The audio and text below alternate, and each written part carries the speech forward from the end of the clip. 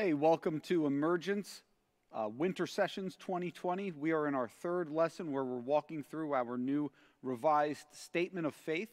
Uh, we've looked already at our doctrine of the Bible, our doctrine of God and of Jesus. And tonight we're going to be looking at our doctrine of mankind.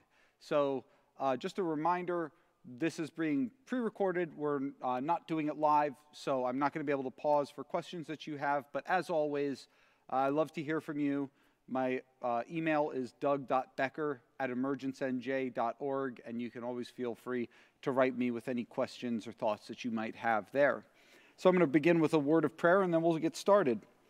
Father, we thank you uh, once again for um, the time you've given us to come together as a church and to study what you've taught us in your word tonight, what you've taught us about, your, about ourselves.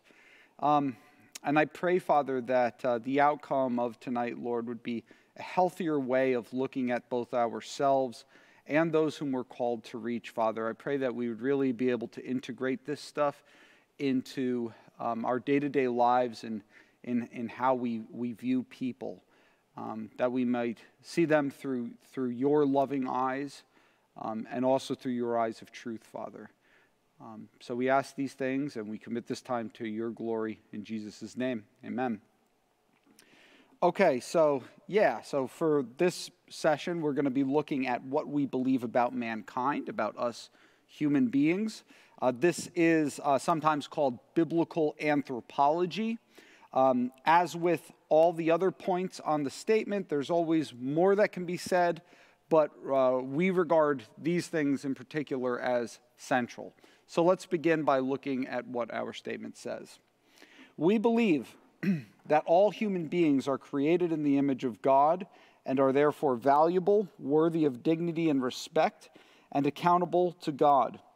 All human beings are also guilty of sin by both nature and by choice.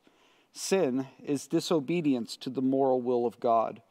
Sin's corrupting influence extends to every aspect of our being.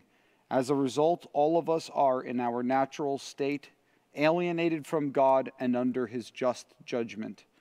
We are utterly unable to remedy our sinful condition and are completely dependent on God's grace in order to be born again to new life and redeemed. So, the first thing that we want to say about mankind is that we are, all of us, created in the image of God.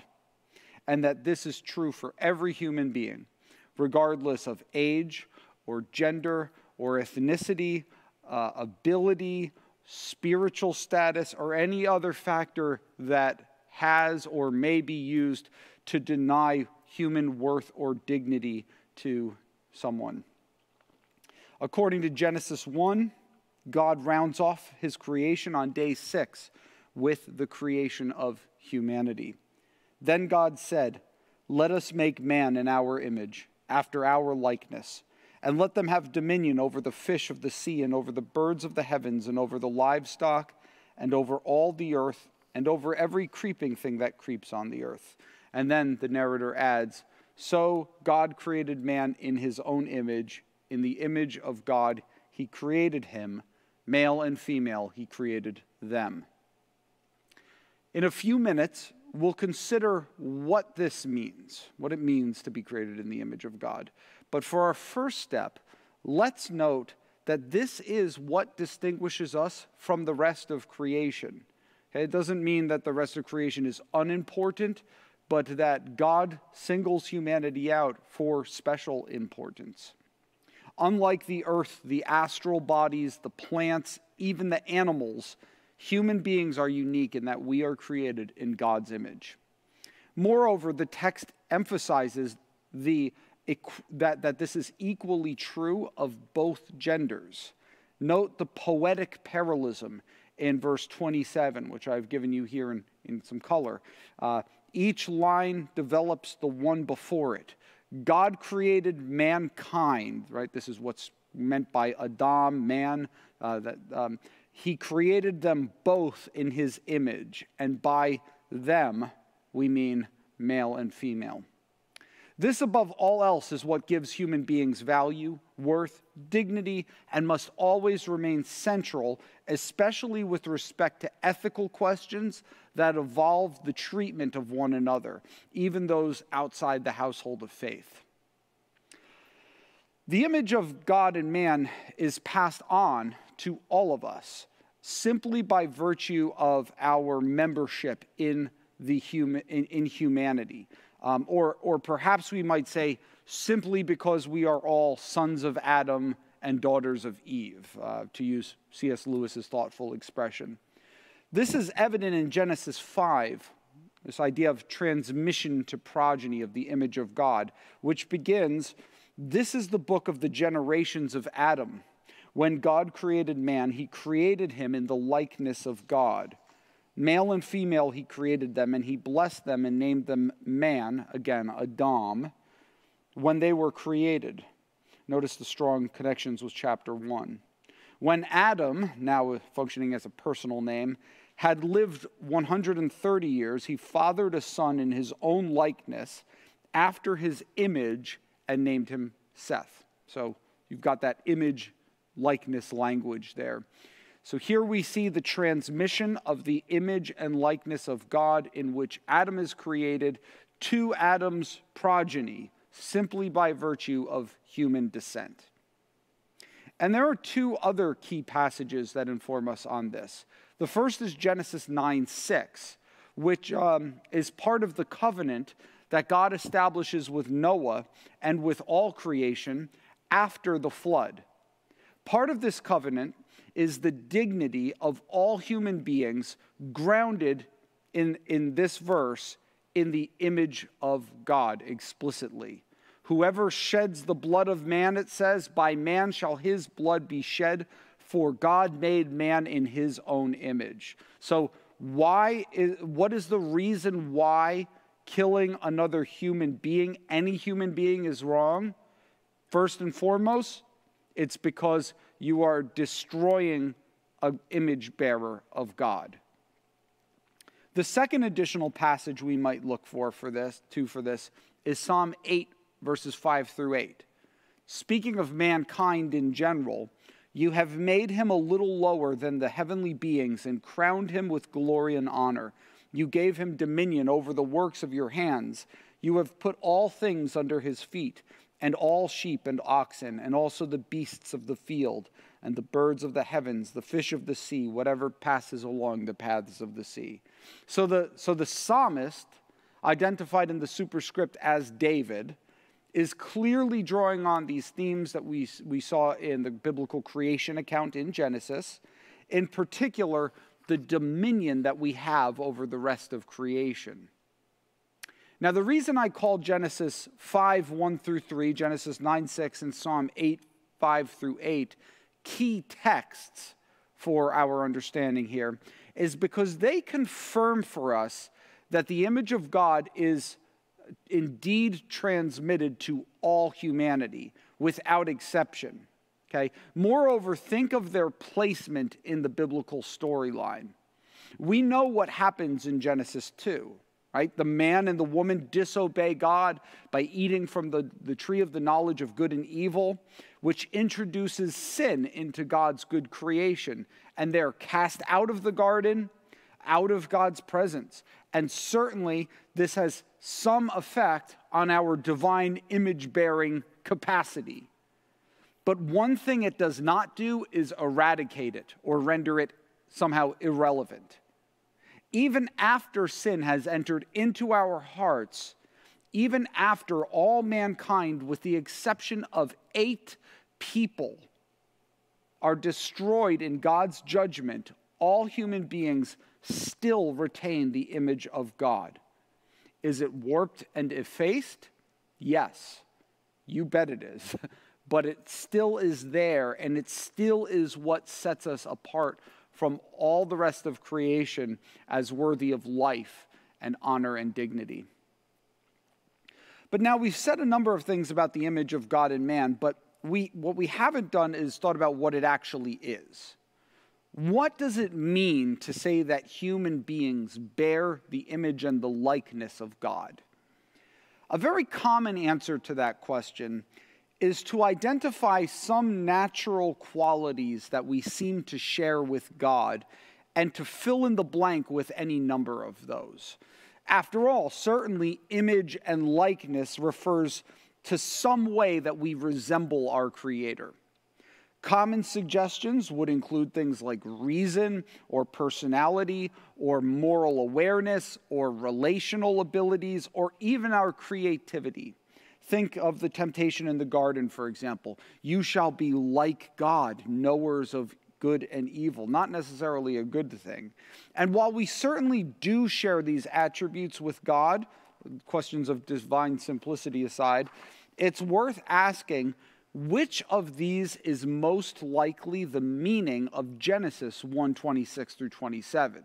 Like, what does the author actually most likely have in mind here? Um, as well as the other relevant texts we've looked, we've looked at. Like, um, how do those have a bearing on our understanding of what is actually meant in the scripture by the image and likeness of God? Well, the Hebrew words used for image and likeness are tselem and demut, respectively. Okay, the latter, demut, um, is uh, which, which is the word translated likeness, typically means a copy or a picture. Like when King Ahaz made a copy of the Assyrian altar that he saw in Damascus in 2 Kings 16:10 or like the carvings of gourds used to decorate the temple in 2 Chronicles 4 3, or pictures of Babylonian officials that artists in Judah have made of them in Ezekiel 23:15.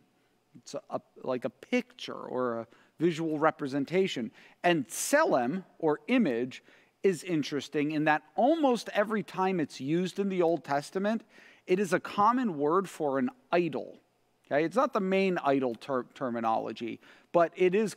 that's when this word is used. That's usually what it refers to.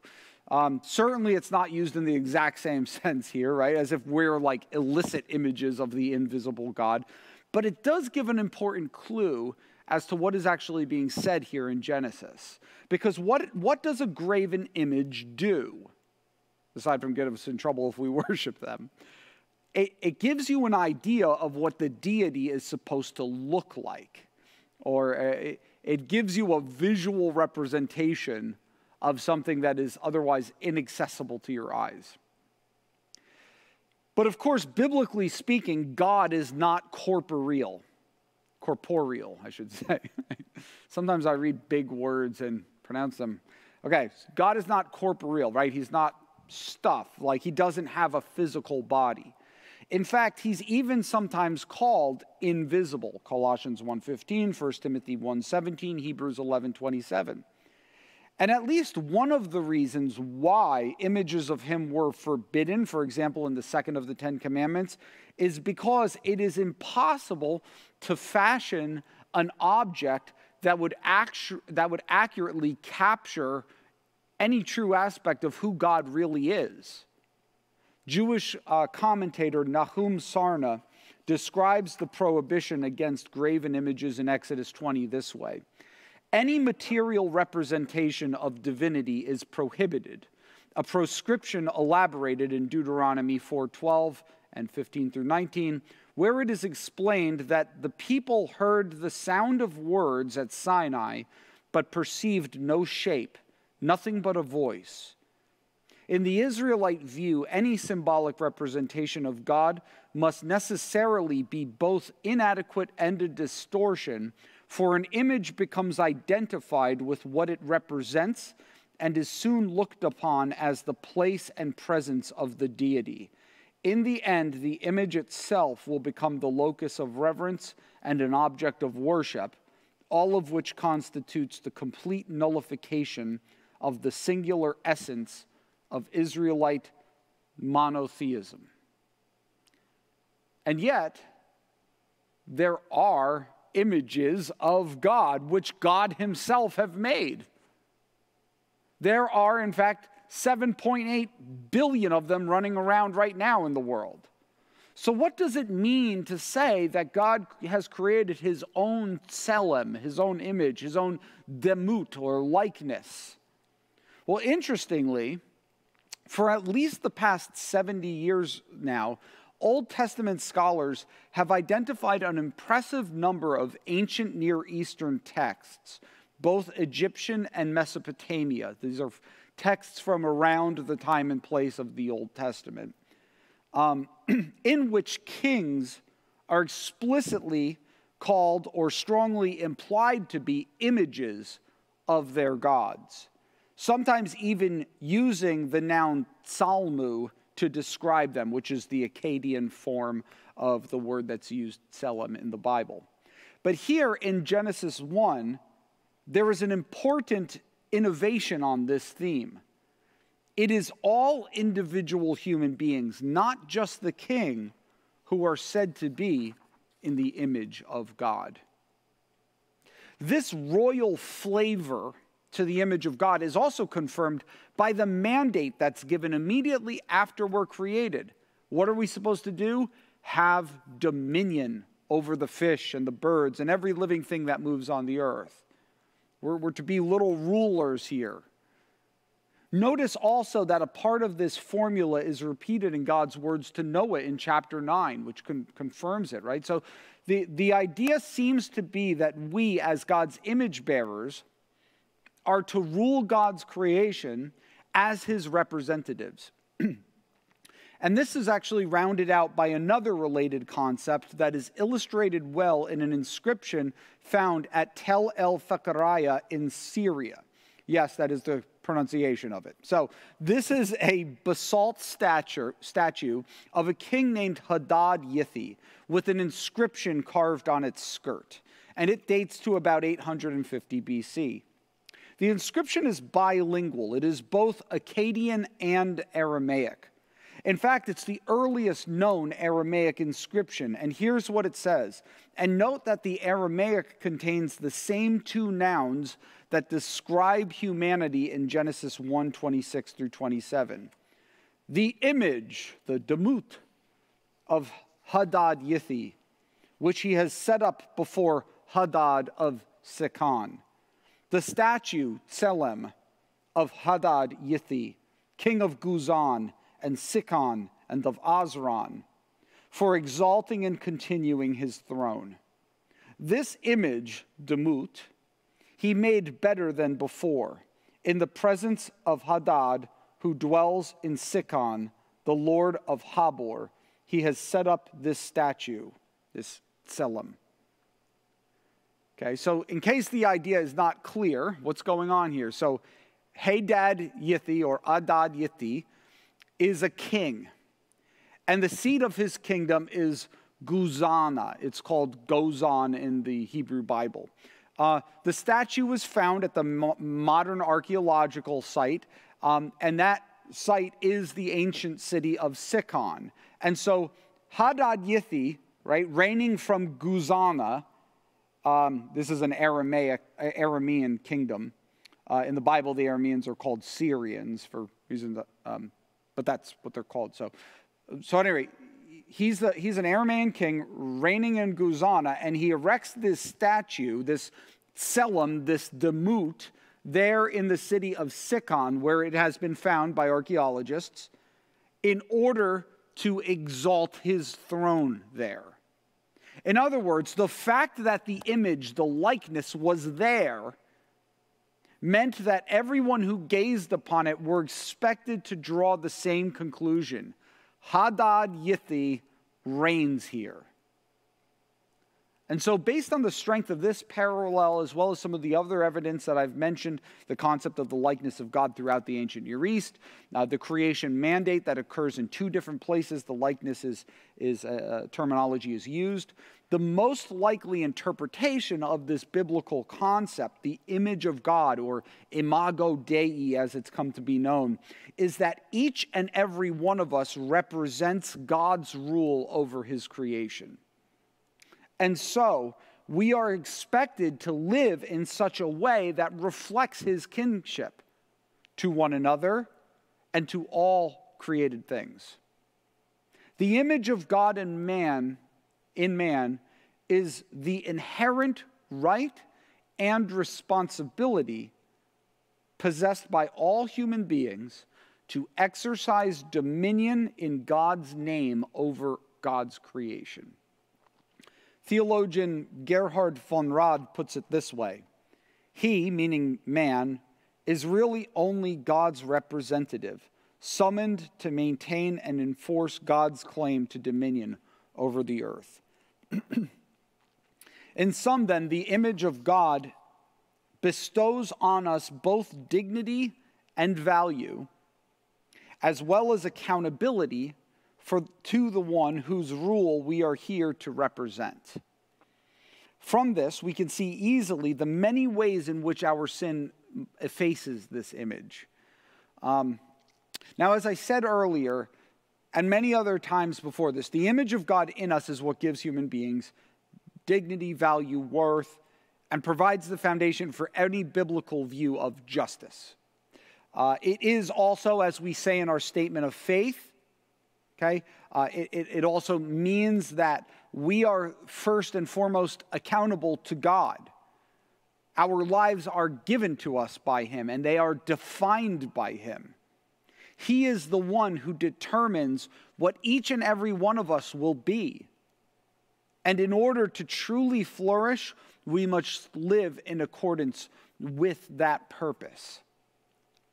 By redefining different aspects of our humanity, including our gender, our sexuality, our purpose, or anything else, we are usurping the role of God and treating our bodies not as something received by the Lord and Creator who loves us, but something that we can just redefine as at will, that we can just assign our own meaning to in accordance with our own fallen and twisted desires. Any attempt to achieve a just society requires that we begin with the image of God in us. And that requires that if, th- that if this is understood or ignored, so will be our understanding of flourishing and of justice. Coupled with the immense honor and dignity with which humanity is endowed, uh, of, of course, is going to be always the reality of sin. And in our statement of faith, sin is defined as disobedience to the moral will of God. While there are certainly different categories of sin, most famously sins of commission and sins of omission, um, or for example, inadvertent sin and high handed sin, it is important for us to understand that the primary party offended in all our sin is God. This is not to deny the tremendous harm that sin obviously does uh, to, to one another, to other people uh, and even to creation in general. But without minimizing that, we need to say that the wrongness of sin does not stem from the damage it does to created things, but from the twisting of our nature away from being worshipers of God to being our own gods.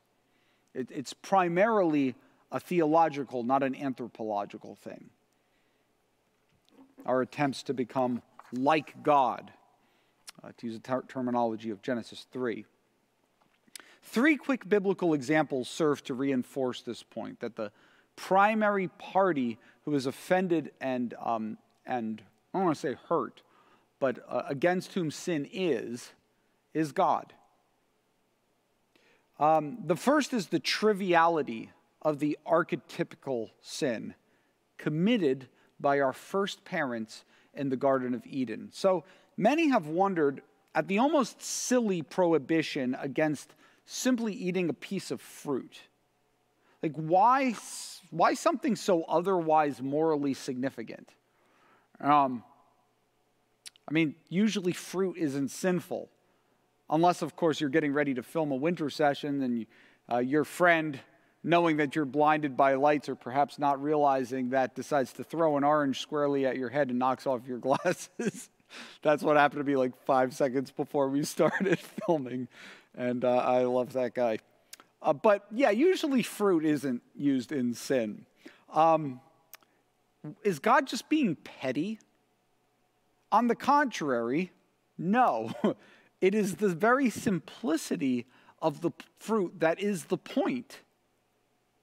Had God issued a command about something more morally obvious or more, uh, let's say, obviously outrageous, such as murder or rape or theft or something like that, and had they fallen to this, then it would have been possible for anyone who's not committed such acts, or any other examples we might cite, to reason, well, then what happened in the garden doesn't really apply to me because I'm not like that.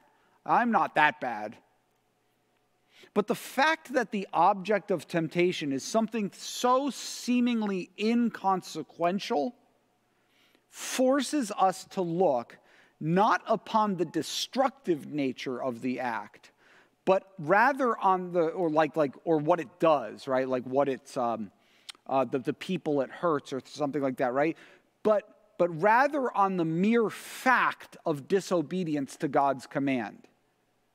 The big deal about the fruit from the tree of the knowledge of good and evil, then, is precisely that the fruit was not a big deal. What is a big deal is that the humans had a clear command from God, and they chose through their own wisdom, through their own desire, uh, to ignore the command and instead to go with their own evaluation of what is right and wrong for them. It was disobedience to the moral will of God that was at issue there. That's what makes sin sin. Or we might look to Genesis 39, a story with which many of us are, I'm sure, familiar. Here, Joseph, enslaved in the Egyptian household of his master Potiphar, is being pursued sexually by Potiphar's wife. And what is his response to his advances? You know, she's like, come lay with me. And what does he say? And it seems pretty clear where he's going at first. Behold, he tells her, because of me, my master has no concern about anything in the house, and he's put everything that he has in my charge. He is not greater in this house than I am, nor has he kept back anything from me except you, because you are his wife. And, and what do we expect him to say next? Something perhaps along the lines of, How can I do this great wickedness and sin against your husband? But no, what does he say? He says, How then can I do this great wickedness and sin against God? Again, this is not a, to deny that the harm that, that such an affair uh, would have been to Potiphar, right? That this would have devastated him and it would have, in very real sense, been a sin against him. But rather, what this is, is an acknowledgement that sin, before it is against anyone and anything else, is against God. Uh, final example to drive home this point Psalm 51, written by King David. And this is a great psalm of repentance, by the way, that should drive all of our prayer in turning away from our sin. And look what he says in verses 3 and 4 For I know my transgressions, and my sin is ever before me. Against you and you only have I sinned and done what is evil in your sight. Okay, so David acknowledges he sinned against God here, right? But, but rewind now to a few, a few lines to the superscript of the psalm, the introductory words, and check out the historical context in which he's praying this prayer. A psalm of David when Nathan the prophet went to him after he had gone into Bathsheba. now, that puts quite a different spin on things, doesn't it? Think of all the people harmed by David and what he did. First, there was Bathsheba, the married woman whom David slept with, who probably had little choice in the matter. Then there was her husband, Uriah, whom David had killed.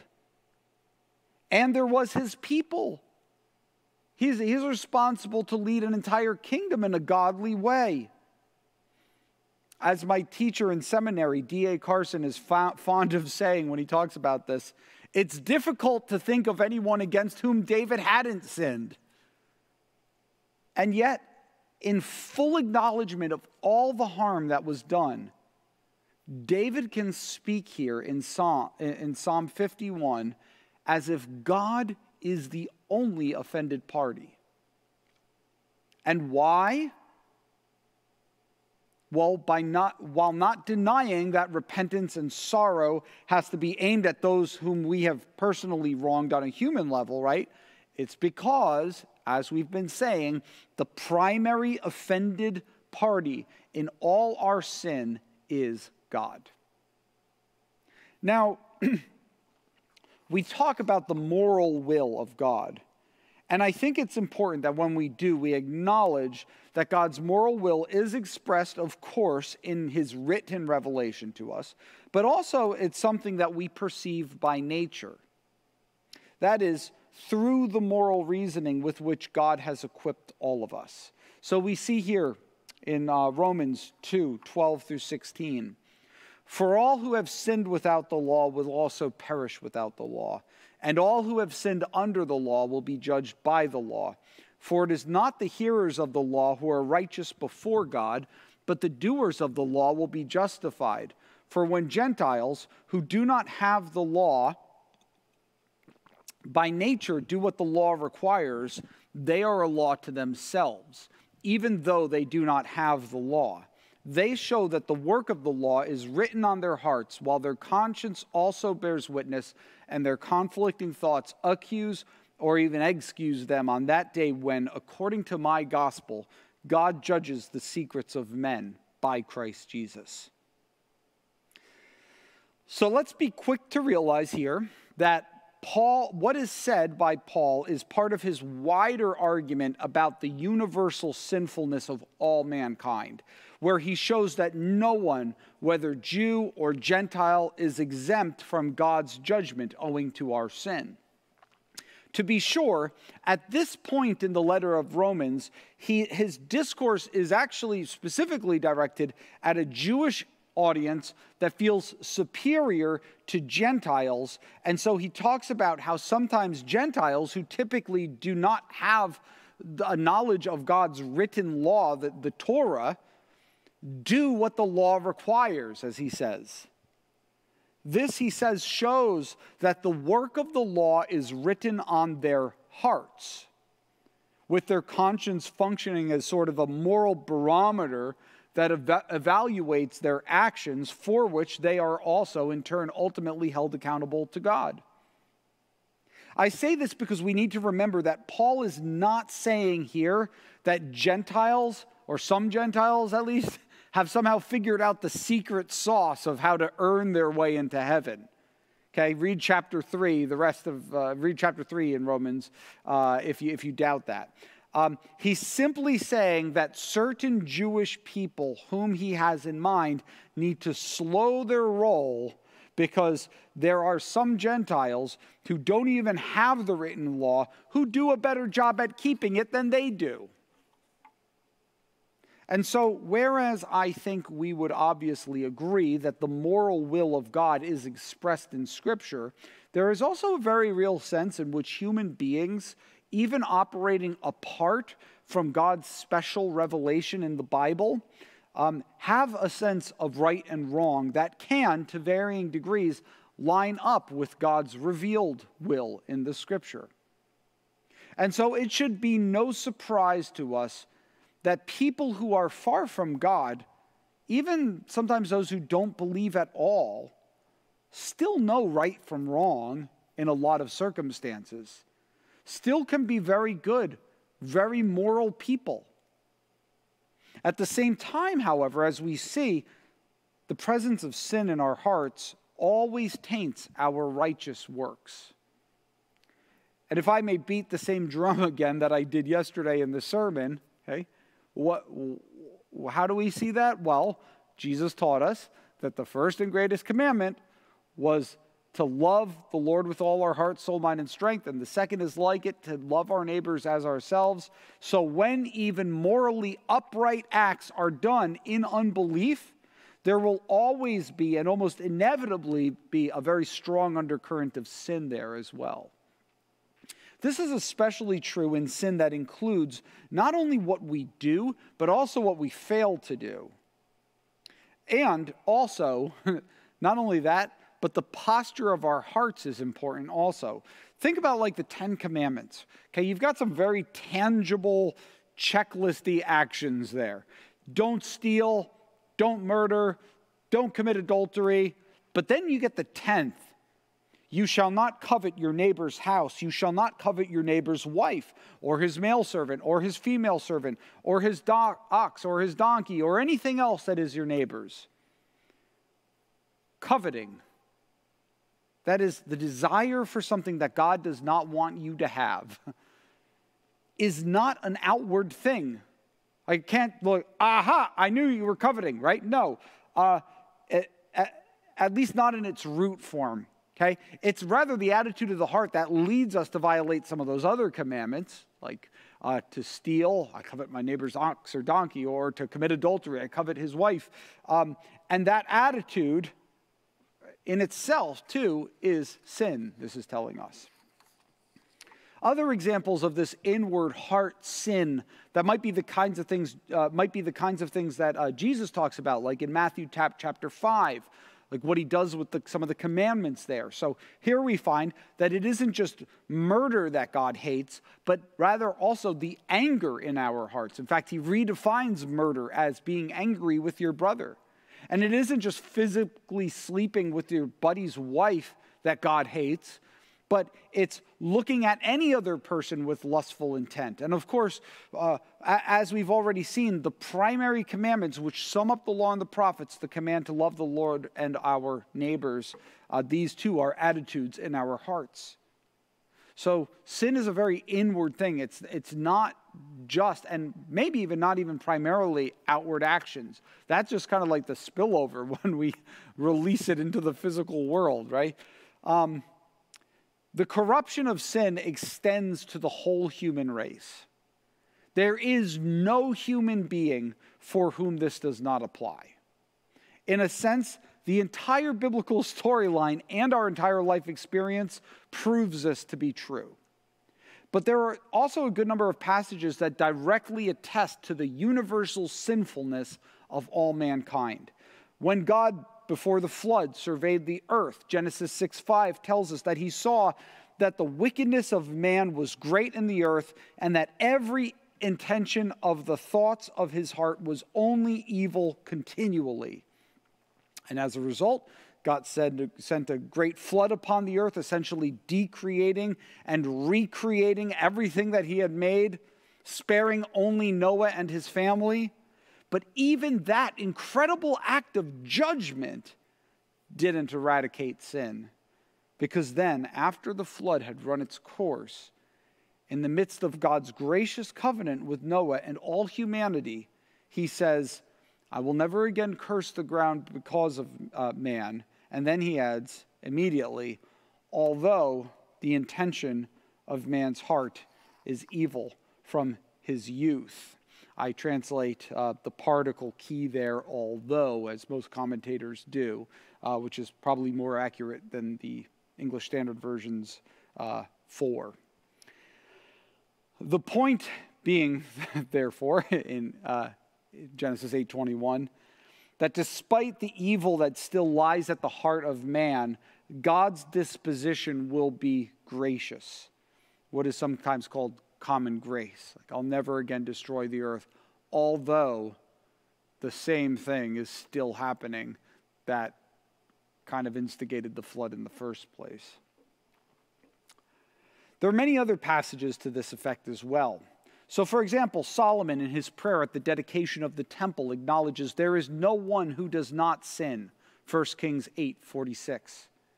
Isaiah, in his climactic suffering servant song in chapter 53, says, All we like sheep have gone astray. We have turned every one to his own way, and the Lord has laid on him the iniquity of us all. It's Isaiah 53 6. And 1 John 1 8, if we say we have no sin, we lie and the truth, we deceive ourselves and the truth is not in us. And Paul in Romans 3 23, All have sinned and fall short of the glory of God. Probably the most hard hitting passage on this, though, occurs at the beginning of that chapter, the beginning of Romans 3, where he writes, What then? Are we Jews any better off? No, not at all, for we have already charged that all, both Jews and Greeks, are under sin.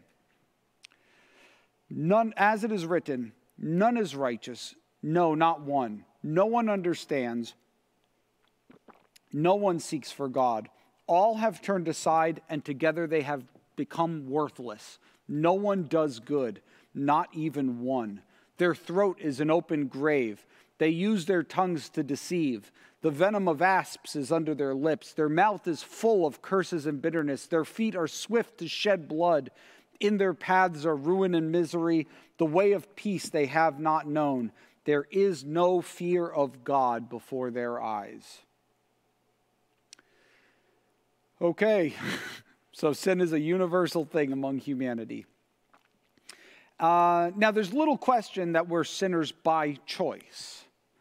Every time we choose to disobey the moral will of God, which we are aware of, both through Scripture and through our own internal moral compasses, warped although they are, what we are doing is we are essentially agreeing with the choice made by our first parents in the garden. That we are the ones who have authority over our own lives to determine what is right for us and what is wrong for us, and that God's commands and his glory count for very little. But we also want to affirm the biblical view that we are sinners also by nature. By this, we mean that we are born into a state of spiritual death and alienation from God. So when we say in our statement that all human beings are guilty of sin, both by nature and by choice, we are saying that when we choose to disobey God's moral will, we are acting in accord with our fallen nature. Paul describes this in the following way at the beginning of Ephesians 2. He says, And you were dead in the trespasses and sins in which you once walked, following the course of this world following the prince of the power of the air, the spirit that is now at work in the sons of disobedience, among whom we all once lived in the passions of our flesh, carrying out the desires of the body and the mind, and were by children nature uh, were by nature children of wrath like the rest of mankind. So, that daily choice that we make to walk in trespass and in sins and to live in the passions of our flesh, carrying out the desires of the body and the desires of the mind, is in accord with the state of spiritual death. And notice that he says that we are children of wrath by nature. Another big way the Bible describes this is by saying that we are in Adam. Now, the classic text for this is Romans 12, uh, 12, 5 12 through 21. 5 12 through 21 um, which is a beautiful which is a very beautiful passage in the way that it sets up jesus' life-giving work on the cross as this as this counter to adam's death-bringing choice in the garden. Um, and i'm going to go ahead and read it in its entirety Therefore, just as sin came into the world through one man, and death through sin, and so death spread to all men because all sinned, for sin indeed was in the world before the law was given, but sin is not counted where there is no law. Yet death reigned from Adam to Moses, even over those whose sinning was not like the trespass of Adam, who is a type of the one who was to come. But the free gift is not like the trespass. For if many died through one man's trespass, much more have the grace of God and the free gift by the grace of the one man, Jesus Christ, abounded for many. And the free gift is not like the result of that one man's sin, for the judgment following one trespass brought condemnation, but the free gift following many trespasses brought justification. For if because of one man's trespass death reigned through that one man, much more will those who receive the abundance of grace and the free gift of righteousness reign in life through the one man, Jesus Christ. Therefore, As one trespass led to condemnation for all men, so one act of righteousness leads to justification and life for all men. For as by one man's disobedience the many were made sinners, so by one man's obedience the many will be made righteous. Now the law came in to increase the trespass, but where sin increased, grace abounded all the more, so that as sin reigned in death, grace also might reign through righteousness, leading to eternal life through Jesus Christ our Lord. So let's keep in mind that we're talking here about the doctrine of humanity, and in particular, the doctrine of sin. So, because there's obviously a lot more here uh, that would contribute to a robust understanding of salvation as well. Um, and we're going to talk, be talking about salvation next week. Um, so I'm, I'm not looking to extract, in other words, the sum total of all that Paul is saying here. Notably, the powerful effects of Christ's work on encountering the powerful effects of Adam's sin. Um, the question we're seeking to answer, though, because we're on this topic of sin, sinners by nature, um, is what is it exactly that we inherit from Adam's fall into sin? Is it only our sinful nature, which we have seen as a very biblical concept? Or is there something else as well? Namely, do we somehow inherit Adam's guilt? The idea would be that Adam, standing as the federal representative of all humanity, chose to disobey God, and that the guilt of having done that is then imputed to us to the extent that even people who would otherwise be innocent, for example, say babies that, that tragically pass away in infancy, even them, they are morally guilty and culpable before God because they are in Adam. To put it succinctly, all who are within the bounds of little o Orthodox Christianity believe that we are born with a sinful nature a spiritual deadness that inclines us away from what God wants and towards sin. But some also believe that we are born judicially guilty of the sin of Adam. Well, the first thing we want to say about this is that we don't take a position on that in our statement of faith. Um, in our estimation, the question of imputed guilt is not central enough to the Christian faith to warrant inclusion in a core statement of beliefs. And emergence is not unique in this respect. Um, just to name a few ministries that are strongly reformed, and a lot of uh, reformed thinkers do hold to imputed guilt. Um, uh, I would think of R.C. Sproul's Ligonier Ministries, James White's Alpha and Omega Ministries, uh, John MacArthur's church, Grace Church. Look at all their statements of faith. None of them incu- include something about imputed guilt, at least not explicitly. So, um, even though, if I'm not mistaken, at least two of these uh, ministries and maybe three do teach it. Um, but it is out there, and it is commonly enough believed to be part of our sinful nature that I should say something about it. So, what I'm going to give right now is my personal take on the issue, not Emergence's official stance. Again, many prominent Reformed ministries do not have an official stance on this either in their core doctrinal statement. Um, Romans 5 is indeed, what I just read, is indeed purported to be the key text from which a doctrine of imputed guilt is derived. And yet, my personal contention, and many would agree with me, is that nowhere in this passage is imputed guilt actually taught. So let me highlight the places where it's alleged to be and just give a few words. The first is in the very beginning in verse 12 Death spread to all men because all sinned. So the reason why death spread to all men is explicitly said to be because all sinned. It is the purposeful act of sin, according to this verse, that spreads death to all human beings without exception. In other words, it is by virtue of our, our own conscious decisions to sin that we show ourselves to be in agreement with Adam's sin. However, it takes several additional assumptions to arrive at the idea that this is saying that Adam's guilt is imputed to us. It doesn't simply doesn't say that. A trickier phrase is in verse 15. Many died through one man's trespass. Yet notice that here too, Paul does not explain the mechanism by which this happens. He doesn't say that we die because the one man's trespass is counted to us. He simply says that we die through it, which I think we have to admit is a vague way to put it. The same goes for this a similar statement made in verse 17. Because of one man's trespass, death reigned through that one man.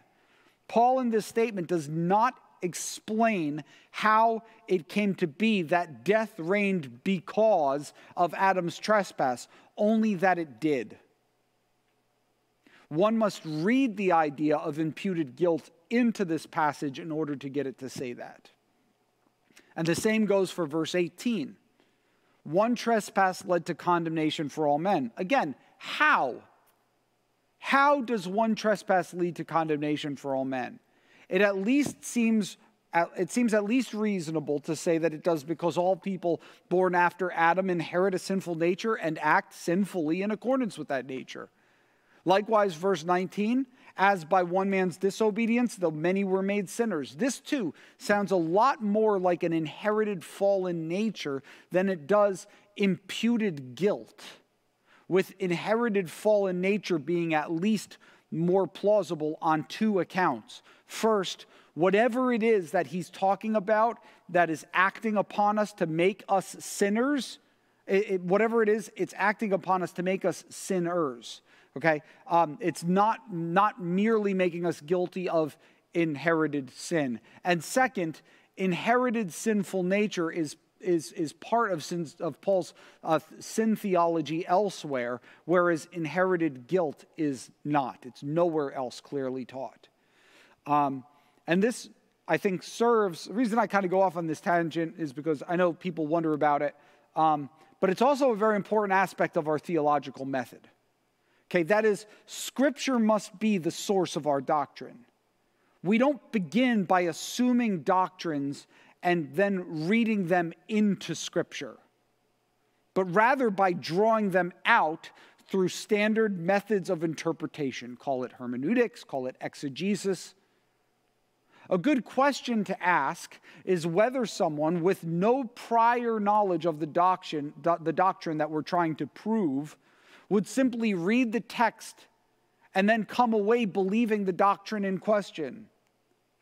And I can see no way, and not for lack of trying, that strict grammatical exegesis of Romans 5 would lead me to think that God imputes the guilt of Adam to all of Adam's prosperity. One might be able to make the case, were the doctrine taught clearly elsewhere in Scripture, but this is the main text cited by its proponents. And, um, and for these reasons, it seems to be quite unavoidable to say that Romans 5 cannot yield the doctrine of imputed guilt without engaging in eisegesis, without reading into the text more than Paul actually says, without reading into the text what we might actually even want to find there for one reason or another, rather than reading out of the text the meaning that Paul most likely intended and say when he's ambiguous that he's ambiguous and not trying to fill in the blanks with a doctrine that's not taught elsewhere in Scripture. So that's my personal take on it. Um, another important aspect of the biblical understanding of sin is sometimes uh, called total depravity. And uh, that was actually the phraseology of our original statement of faith. But even though uh, that is the standard kind of theological jargon that would be used for that, we opted for what we feel is a clearer way to say this, to explain the same thing. And so our revised statement reads Sin's corrupting influence extends to every aspect of our being. So when we look at Scripture, we see that sin's corrupting effect, uh, uh effects influence our entire, all of our humanity, all of it, all, of me. Okay, Paul in Romans 7:18 goes so far as to say, "I know that nothing good dwells in me, that is, in my flesh." Uh, this includes our intellect, our will, our affections, our conscience, our bodies. Um, sin's effect on our intellect, also sometimes called the noetic effects of sin, from the Greek word noeo, which means uh, to think. Um, uh, that's, that's where we get that from, the noetic effects of sin. Um, and a passage we've already read, uh, Romans 121, um, speaks to this effect. For although they knew God, they did not honor him as God or give thanks to him, but they became futile in their thinking and their foolish hearts were darkened. Um, notice futile in their thinking. Or 1 Corinthians 2:14. The natural person does not accept the things of the spirit of God, for they are folly to him, and he is not able to understand them because they are spiritually discerned. He can't even he can't understand them. These are thinking words. Or Ephesians 4 17 through 18. Now I say and testify in the Lord that you must no longer walk as the Gentiles do in the futility of their minds. They are darkened in their understanding, alienated from the life of God because of the ignorance that is in them due to their hardness of heart. And finally Titus 1:15, to the pure all things are pure, but to the unbelieving believing and uh, the, the defiled and unbelieving, nothing is pure, but both their minds and their consciences are defiled. Notice how interconnected everything is. Like everything's like attached to these noetic effects of sin. Um, our, our wills, our conscience, our emotions, our, our affections, right? All together in one jumbled mess, bent towards sin and really feeding one another. My affections, my desires are messed up. And so my thinking comes into service of them, dictating what I think is plausible and reasonable. Like, like I really want to do this, so you know, maybe I don't have any good reasons to think that God is there you know but but I, but I reason falsely about what is truly right and good and desirable and then what does that do? That throws my affections off. So there's this just this vicious circle going going on in in our in our in ourselves in our in our hearts uh, and in our minds. Um, a good illustration of this is 1 peter 1.14 as obedient children do not be conformed to the passions of your former ignorance Okay? So the passions that drive us towards sin are characterized by what? Ignorance, a lack of knowledge. So this what does this do? It, it blunts my will, my ability to say no to sinful desires, and it makes me a slave to them. This is why the Bible uses the metaphor of slavery and bondage to describe our sinful nature in our natural pre Christ unregenerate state, we are, as Paul says in Romans 6, slaves of sin, which lead, leads to death. Of course, we heard the good news about this um, in the message I was uh, blessed to give yesterday. Um, but um, alas, we're talking about the doctrine of sin right now, so not quite there yet in these lessons. Um, and what happens is eventually our consciences become seared where we're unable to truly discern what is right and what is honorable, let alone to desire it. To the pure, Titus 1:15 says, all things are pure, but to the defiled and unbelieving nothing is pure, but both their minds and their consciences are defiled. And this affects even our physical bodies. As Paul writes in Romans 8:10, the body is dead because of sin. Uh, and then later on in the chapter, of course, he talks about the, the, the, fact that we, along with the rest of creation, are in bondage to corruption, to the, to wasting, and, and to the death that pervades our world, which we saw in chapter 5 is here because of sin. In fact, a lot of these passages paint a picture of sin that is more comprehensive than what we sometimes think, the way we sometimes think of sin. Sin corrupts the entirety of who we are. So this needs to stand alongside of this more typical way that we tend to think about sin, what I sometimes call the laundry list view of sin. And that's the idea that there are a lot of sins, uh, plural, right? And, and that every time I do one of those, that, that's a check against me. To be sure, the Bible does speak in that way, right? Whether it's individual laws in the Old Testament or like New Testament vice lists. Um, but we get this a lot. Uh, but the comprehensive picture that we get throughout the Bible is that sin is not merely about doing a lot of good and morally neutral things and then just sprinkled with some bad sinful stuff that we occasionally do or maybe do a lot right? It's not it's not that. No everything is corrupted by sin. It's like leaven. It's worked its way through our, every aspect of our being. And that's why we have to balance our desire to avoid particular sins against this more realistic picture of how sick our hearts actually are. Let's say, for example, that I see an attractive woman and I want to I want to look at her and think things that I shouldn't, but I also want to follow Christ. Um, and in that moment, God gives me the strength to not, uh, to, to, to not dishonor Him, to not dishonor, dishonor my wife, to not dishonor myself. Okay? Ha- have I sinned if I say no to that desire? In a sense, no, I didn't sin because I didn't look at her in a way that, that, that was sinful. But in another sense, why did I feel such a strong desire to do that in the first place? Is it not because my intellect, my will, my affections, my conscience is permeated by a sinful nature that draws me away from the things of God and to the things of hell? This nature that was in place when I was born and then strengthened by decades of me choosing to follow my sin rather than God so while it is a good thing that I can resist temptation sometimes, I shouldn't kid myself that that somehow makes me a righteous person. Okay, only Jesus does that.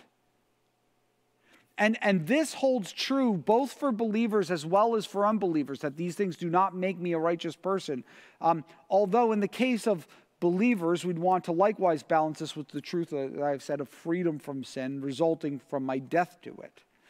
Um, but that's, I think, a more comprehensive idea of what, what sin is. It's not about like, oh, am I sinning now? Am I not sinning? No, like everything is tainted. The whole thing is like, is, is, is fallen.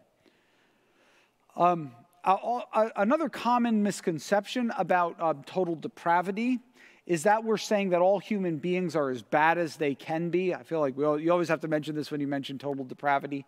Um, not so. As I've already indicated, it is certainly true that people, even those who don't know the Lord, could do many good things. Um, total depravity simply means that sin permeates every aspect of our being and that it makes it impossible to uh, respond positively to God's grace. As a result, God justly stands in judgment against each and every one of us. This is a function of God's holiness and of his justice. God takes sin very seriously.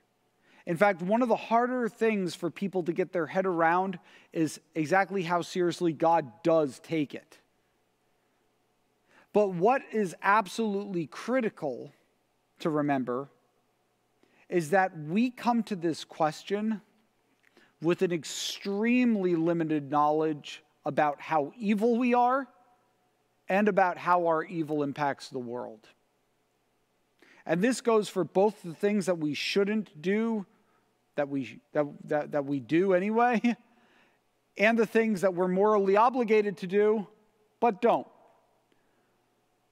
it, it isn't difficult to envision a small bit of the damage that failure to love our neighbors, both close and worldwide, has on God's good creation, especially our fellow image bearers. Like, what would this world look like if we all truly did what God wants us to do? And that's just the harm to, that, to, fail, to, to, the, the, that comes from the failure to follow the second commandment, right? To love one's neighbor. And remember how we said that the one who's wronged even more than that is God Himself. And when we affront His infinite glory. You may also recall how, in our study of the doctrine of God, we talked about how God's all knowingness, His omniscience, means that He has perfect knowledge of all morally significant acts. He knows perfectly how wrong each wrong is and how right each right is. We don't. Even in evaluating one another's sins, yes, some sin is more conspicuous, maybe more outwardly destructive, right? Maybe a guy wrecks his family because he chooses to do something. But we don't really know the depths of people's hearts, what's swimming around in there. And, and any act of rebellion that manifests itself outwardly is likely only the tip of the iceberg compared to the twisted perversion of the heart that produces such acts. And so we are in no position to question God's judgment. We know neither the true standard of holiness nor the amount of evil that dwells within us or anyone else nor our true level of culpability for our evil acts, nor the destructive results of those evils. All critical things to know in order to make judgments as to whether or not a person is worthy of God's judgment. How are we supposed to know that? Human penal systems vary widely on punishment deserved uh, by, wildly, by widely uh, acknowledged crimes how can we expect to know what is truly a just retribution for any particular act of sin, let alone all of the sin that we do not accurately perceive? What we do know is that God's judgment is righteous and just. As Abraham prayed as he interceded for the cities of Sodom and Gomorrah, shall not the judge of all the earth do what is just? And Psalm 50, verse 6 tells us, The heavens declare his righteousness, for God himself is judge. And Psalm 89 14, righteousness and justice are the foundation of your throne. Steadfast love and faithfulness go before you. Psalm 96 10 and 13 say among the nations, The Lord reigns, he will judge the peoples with equity. And in Habakkuk, I'm sorry, in Habakkuk 1:13, the prophet addresses the Lord as you who are of purer eyes than to see evil and cannot look at wrong. God's just judgment is one of the most consistent themes of Scripture. And we should remember, as I mentioned last week, that Jesus himself is the one appointed to sit at, uh, in, uh, as judge on the day when God judges the world. In Acts 17, uh, 17, verses 30 and 31, Paul sums up the situation well.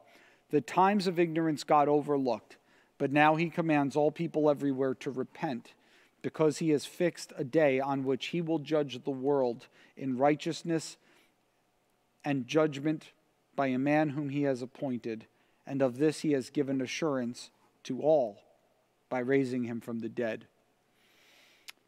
And this leaves us in the place where we end our remarks about mankind in our statement of faith. We are utterly unable to remedy our sinful condition and are completely dependent on God's grace in order to be born again to new life and redeemed. And it is to that redemption that we will turn next week when we look together what the Bible has to teach us about the atonement. See you then.